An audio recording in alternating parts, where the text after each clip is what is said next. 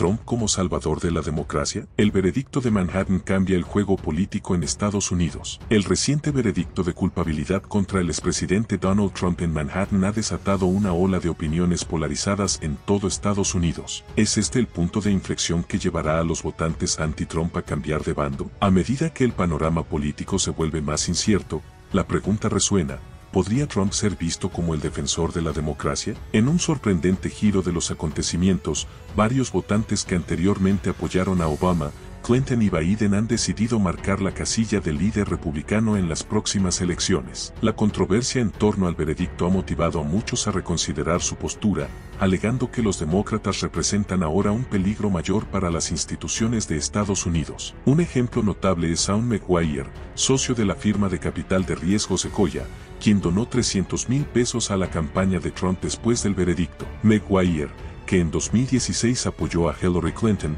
explicó su decisión en un ensayo de más de 3.000 palabras. Según él, la condena no fue lo que más le molestó, sino las acusaciones que considera descaradas por parte de la Fiscalía. No son tácticas democráticas las que se están utilizando, afirmó McGuire. Kate Neddy, una consultora de marketing de Nueva Jersey, también ha cambiado su inscripción de demócrata a republicana. Nitti, que votó a Curtis Lewa en 2021, ahora está abierta a apoyar a Trump. Siento la necesidad de enviar un mensaje a los demócratas de que su política sucia no será recompensada, dijo. Eric Brackey, un senador estatal de Maine, y Jack McGuire, un consultor de viajes de Houston, también han decidido apoyar a Trump. Ambos han expresado su descontento con lo que consideran tácticas corruptas y engañosas por parte del sistema judicial. Estoy con la gente de MAGA, porque esto tiene que acabar, declaró McGuire. En California, Amory Barger, instructor de guitarra e ingeniero de grabación, votó por Clinton en 2016 y Biden en 2020,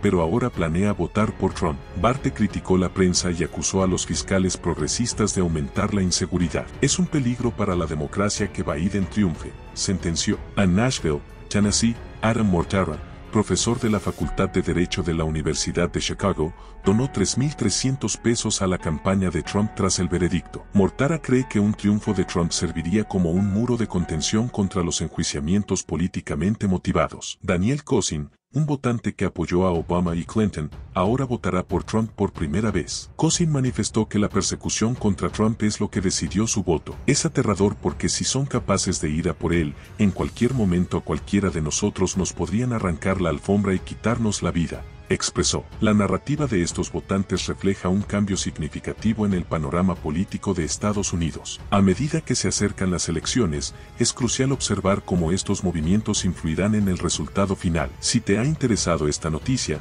no olvides apoyarme con un like y activar la campanita para estar al tanto de futuras actualizaciones. Gracias por tu atención y hasta la próxima.